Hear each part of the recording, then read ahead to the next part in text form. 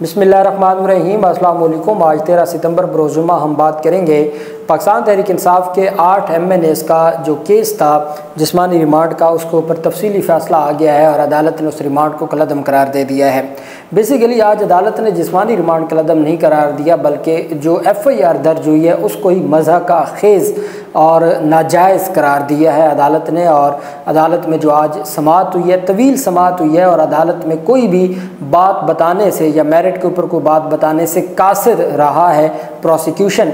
और प्रोसिक्यूशन से अदालत ने बार बार ये सवाल किया है कि आपने जिस तरह का मुकदमा किया है, क्या ये कोई ऐसा मुकदमा बन सकता है? क्या इस तरह के मुकदमे की कोई हैसियत है? अदालत ने वाज तौर पर कहा कि ऐसे मुकदमात की कोई हैसियत नहीं है, लेकिन आप जिस तरह से कार्रवाई कर रहे हैं, ये दुरुस्त नहीं है।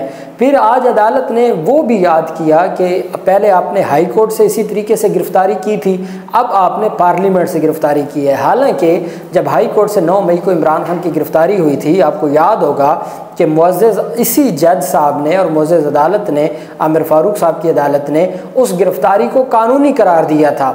और तोहन अदालत की कार्रवाई तोहन अदालत की कार्रवाई का कहा था आई जी इस्लामाबाद के ख़िलाफ़ उस नौ मई 2023 के बाद से लेकर आज तक वो तोहन अदालत की दरख्वास्त दोबारा नहीं लगी। लेकिन साथ ही आपने ये भी देखा कि तोहन अदालत की कार्रवाई हुई वो आ, आ, फ़ाइल गुम हो गई एक तरह से चूँकि वो फ़िक्स नहीं हुई या दोबारा मुकर नहीं हुई। और साथ जो अहम पेशरफ सामने आई है वो ये है कि मोज़ अदालत की जानब से आज कहा जा रहा है, इतराज़ किया जा रहा है कि इसी तरह की गिरफ़्तारी आपने इस्लामाबाद हाई कोर्ट से की थी। उस वक्त उसी गिरफ़्तारी को दुरुस्त करार दिया था मोज़ अदालत ने। दो रुकनी बेंच था, चीफ जस्टिस आमिर फ़ारूक साहब की सरबराही में, जस्टिस समन रिफत इम्तियाज़ साहब उस बेंच का हिस्सा थे। प्रोसिक्यूटर जनरल इस्लामाबाद अदालत में पेश हुए, जबकि मुलजमान की जानब से इस्लामाबाद बार कौंसिल के वाइस चेयरमैन आदिल अज़ीज़ काजी और राजा अलीम अब्बास की एडवोकेट पेश हुए।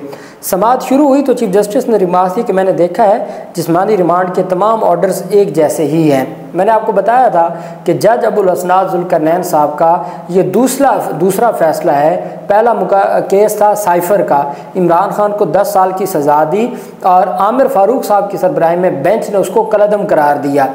अब ये दूसरा फैसला है चार लाइनों का जिस्मानी रिमांड का आप विदाउट रीजनिंग फैसला जारी कर दिया कि जी उन्होंने 10 दिन का रिमांड मांगा। 10 दिन का रिमांड तो बहुत ज़्यादा लग रहा है। 8 दिन का रिमांड दे देते हैं। 8 दिन की तहवील दे दी है या पुलिस कस्टडी दे दी है। ये जज साहब फरमा रहे हैं, ये अदालत फरमा रही है। चार सफ़ात पर मुश्तमिल चार लाइनों पर मुश्तमिल वो फैसला है और फिर हर मुलजिम का अलग से रिमांड लिया जाता है, अलग दरख्वास्त होती है। तो उन पर हर दरख्वास्त का फ़ैसला सेम है, हर मुलजिम की दरख्वास्त में फ़ैसला सेम है। यही ज़िक्र किया चीफ जस्टिस आमिर फ़ारूक साहब ने। चीफ जस्टिस ने किया कि मैंने देखा है, जिसमानी रिमांड के तमाम ऑर्डर्स एक जैसे ही हैं। स्टेट को जवाब देने दें कि ऐसा क्या हो गया था कि आठ आठ रोज़ का जिस्मानी रिमांड दिया गया। ये तो ऐसा अमल है जिसकी कोई मिसाल न मिलती हो। हमने देखना है आखिर क्या हुआ जो आठ रोज़ा जिस्मानी रिमांड हो गया। प्रोसिक्यूटर जनरल ने एफ़ आई आर पढ़ के सुनाई, जिस पर चीफ जस्टिस ने दिलचस्प रिमार्क्स दिए। चीफ जस्टिस ने रिमार्क्स दिए कि इस एफ़ आई आर का ऑथर भी दिलचस्प है। ये इस्लामाबाद पुलिस है या रजिया है जो गुंडों में फंस गई है। क्रेडिट देना होगा कि बड़े अरसे बाद अच्छी कॉमेडी देखने को मिली है। जिसने भी ये एफ़ आई आर लिखी उसने अच्छी कॉमेडी लिखी। ये chief justice of Islamabad high court जो सबसे मुज्ज़ जज हैं हमारे इस्लामाबाद हाई कोर्ट के और अवाम पाकिस्तान के भी और खसूस हुकूमत पाकिस्तान के आ, जो आ, बेस्ट जजेस में से हैं। और वो जज साहब फरमा रहे हैं कि ये एफ़ आई आर लिखी है या कॉमेडी लिखी है। अब मैं समझता हूँ कि अगर जैसे हमारे जस्टिस तारिक सलीम शेख साहब हैं असद जवेद गुराल साहब हैं, अली ज़िया बाजवा साहब हैं, या जो एक बेंच था जिन्होंने सलम जावेद केस का फ़ैसला दिया, एक बेंच था जिन्होंने इमरान खान के केसेस का फ़ैसला दिया था तो इसी तरीके से ये मुज्ज़ अदालत, साथ अगर जिन लोगों ने एफ़ आई आर दर्ज की है, उन लोगों के ख़िलाफ़ कार्रवाई भी होती, अदालत जब कह रही है कि भाई ये तो कॉमेडी है, ये कहाँ से एफ़ आई आर है, ये तो एक कॉमेडी है, चीफ जस्टिस ने सवाल उठाते हुए कहा कि मुझे कोई बताए कि शुएब शाहीन पर पिस्तौल डाल दी है। शुएब शाहीन को मैं नहीं जानता। मैं जानता हूँ उनको, क्या वो पिस्तौल उठा सकते हैं? गौर खान का कह रहे हैं, वो सारी ज़िंदगी यहाँ प्रैक्टिस करते रहे हैं। गौर खान का कह रहे हैं कि उसने पिस्तौल निकाल ली। गौ, गौर खान को आप और मैं नहीं जानते, शरीफ आदमी है, वो कहाँ से पिस्तौल उठा लेगा? कॉमेडी आपने पढ़ ली है, अब इनसे बरामद क्या करना है आपने? कुछ तो खुदा का खौफ करें। प्रोसिक्यूटर जनरल ने बताया कि शुएब शाहीन से डंडा बरामद हो गया है, जिस पर चीफ जस्टिस आमिर फारूक बेसाख्ता हंस पड़े और कमर अदालत में भी कह के लग गए। प्रोसिक्यूटर जनरल इस्लामाबाद ने मजीद बताया कि शेर अफजल मरवत से पिस्तौल बरामद हो गया है। चीफ जस्टिस आमिर फारूक ने रिमार्क दिए कि चार दिन हो गए हैं, आपने जो करना था वो कर लिया है। आठ दिन का रिमांड क्यों दिया गया? दो दिन का दे देते, कस्टडी दी जाती है, लेकिन हतमी तौर पर कस्टडी कोर्ट की होती है। इस मुकदमा में मज़का खेज किस्म के इल्ज़ाम हैं।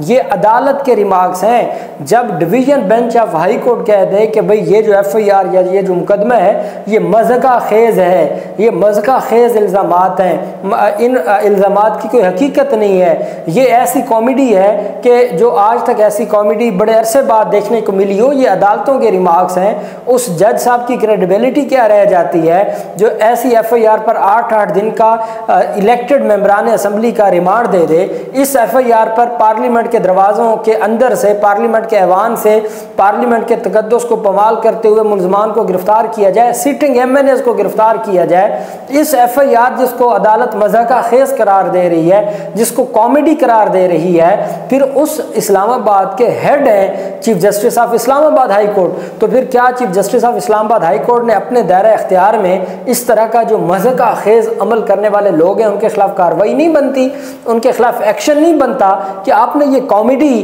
की है पार्लियामेंट का आपने तकदस पमाल किया है इलेक्टेड मेम्बरान को आपने गिरफ़्तार किए इस एफ़ पर अदालत ने कहा कि अगर आ, आ, आ, लेकिन हतमी तौर पर कस्टडी कोर्ट की होती है इस मुकदमा में मज़ा खेज़ इल्ज़ाम लगाए गए हैं और आठ रोज़ का इल्ज़ाम रिमांड दे दिया है। अगर इल्ज़ाम दुरुस्त भी मान लें तो उसका एक तरीक़ाकार है। ये स्टोरी जिसने बनाई है मज़ेदार किस्म की कहानी है जिस पर फ़िल्म बन सकती है।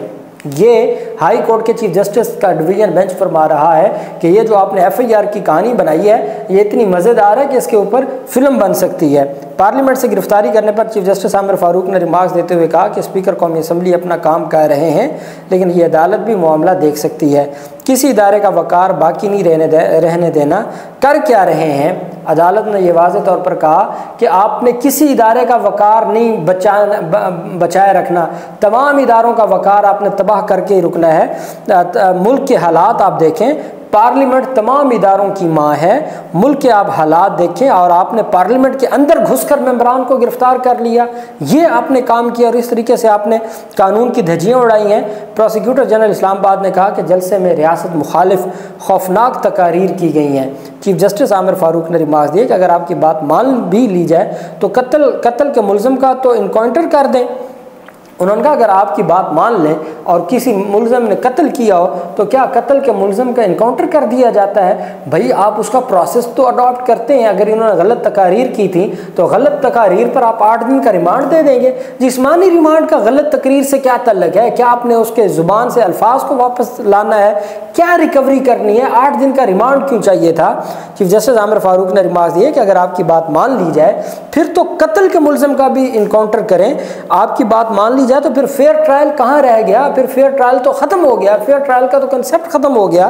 किसी ने कितना ही संगीन जुर्म क्यों ना किया हो इसको फेयर ट्रायल का हक है। यही काम पहले इस हाई कोर्ट में किया गया अब पार्लियामेंट में कर दिया। क्या कि भाई गलत तरीके से आपने पा, पार्लियामेंट के अंदर घुस के गिरफ्तारी की है? तो अदालत ने कहा कि आपने पहले पार्लियामेंट के अंदर जा पहले अपने हाईकोर्ट के अंदर घुस के गिरफ्तारी की है। अब आपने पार्लियामेंट के अंदर घुस के गिरफ्तारी की है। पहले यही काम आपने हाई कोर्ट में किया था, अब वही काम पार्लियामेंट में किया। और अगर इसके ऊपर तगड़ा एक्शन लिया होता, अगर तगड़ा एक्शन लिया जाता, गिरफ्तारी जो हुई थी, उन लोगों के खिलाफ कार्रवाई की जाती तो इन अदालत की कार्रवाई को आगे बढ़ाया जाता। सीसीटीवी फुटेज के ज़रिए आपके मोज़ जजेस ने कहा था कि वो सीसीटीवी फुटेज भी ले ली गई है। अगर कार्रवाई की गई होती तो आज पार्लियामेंट में घुस के गिरफ्तारियाँ ना होती। और आप पार्लियामेंट में घुस के गिरफ्तारियों की जिस तरह से इजाज़त दी गई है या उस मामले को आगे बढ़ाया गया है तो ये मामला तो कल कहीं और जाएँगे। अदालत ने कहा कि किसी ने कितना ही संगीन जुर्म किया हो, उसको फेयर ट्रायल का हक है। यही काम पहले इस हाईकोर्ट में किया गया, अब पार्लियामेंट में कर दिया। जस्टिस अमन रिफत ने सवाल किया कि जिन पुलिस ऑफिशल्स ने यह मुकदमा दिया, क्या उनकी कोई इंक्वायरी हुई?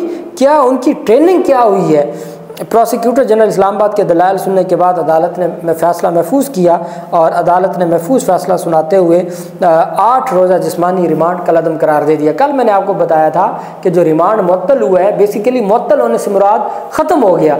तो जो रिमांड हुआ था चार दिन का, वो कल से ही मअतल हो चुका है। अब आज ये पेशरफ सामने आई कि जब ये रिमांड कलदम हो गया तो आज ही पाकिस्तान तहरीक इंसाफ के एम एन एज़ ने अपनी ज़मानत की दरख्वास्तें तैयार कर रखी हुई थी। अब वो ज़मानत की दरख्वास्तें दायर हो गई हैं। कल के लिए उसके ऊपर नोटिस हो जाएगा और कल उनकी ज़मानत हो जाएगी।